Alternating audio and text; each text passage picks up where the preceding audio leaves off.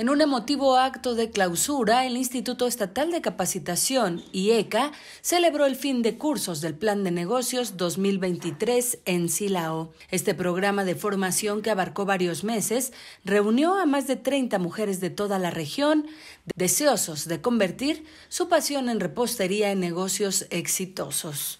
El evento de clausura, que tuvo lugar en las instalaciones del IECA, contó con la presencia de la presidenta del DIF de Silao, Ivonne Castro Tobar, además de estudiantes, capacitadores y autoridades municipales. La presidenta del DIF, Ivonne Castro, elogió a las graduadas por su dedicación y compromiso. Porque, porque luego viene el miedo a decir, ¿podré? No podré. ¿Podré? ¿Haré? ¿Haré el postre de tuna o no haré el postre de tuna? ¿Lo haré de arándanos o de tuna? ¿Qué les gustará mejor?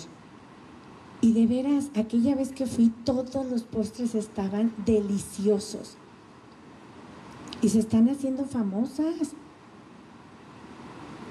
Ya fueron al informe de Carlos también, ya presentaron sus, sus postres. Pero esa confianza que les da a ustedes mismas, esa confianza que tienen en ustedes mismas, es la que dice voy. La clausura de los cursos de Plan de Negocios 2023 marca el inicio de una emocionante travesía empresarial para las egresadas. Para Noti 13, Gaby Bárcenas.